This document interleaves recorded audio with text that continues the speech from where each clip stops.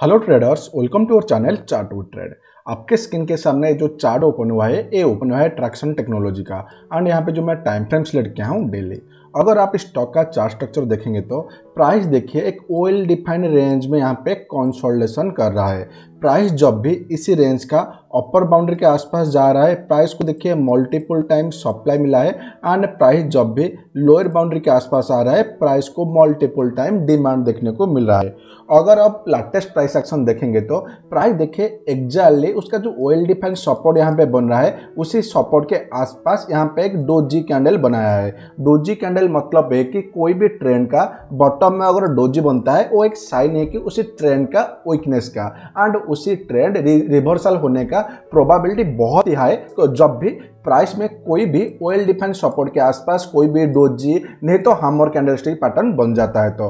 अगर आप यहाँ पे देखेंगे तो देखिए क्लियर कट एक ऑयल डिफेंस सपोर्ट के आसपास एक डाउन ट्रेंड में बॉटम में डोजी बना है। एंड जिस टाइप का यहाँ पे डोजी बना है एंड जिस टाइप का प्राइस एक्शन अभी देखने को मिल रहा है हाई प्रोबाबिलिटी की आने वाले टाइम में यहाँ से कंटिन्यूशन मूव दे सकता है। एंड इसी केस में हमारा जो स्टॉप लॉस रहेगा, जो यहाँ पे डोजी कैंडल बना था डेट था 17 मार्च 17 मार्च का लो के नीचे हम स्टॉप लॉस दे सकते हैं।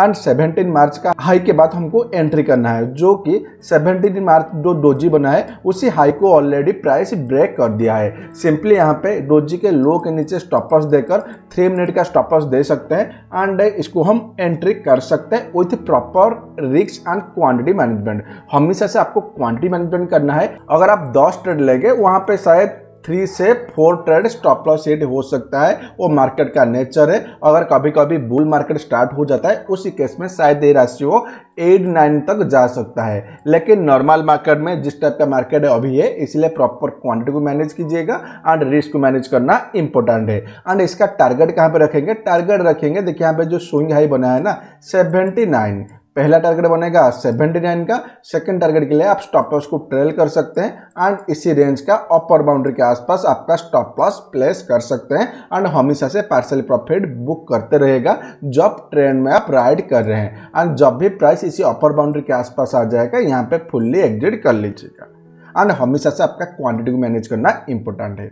देखिए, अभी कुछ दिनों से रेगुलरली वीडियो नहीं आ पा रहा था, कुछ इशू था एंड मैं कोशिश करूँगा नेक्स्ट वीक से मैं रेगुलर एनालिसिस वीडियो अपलोड करने की। आई होप कि आप समझ पाए होंगे।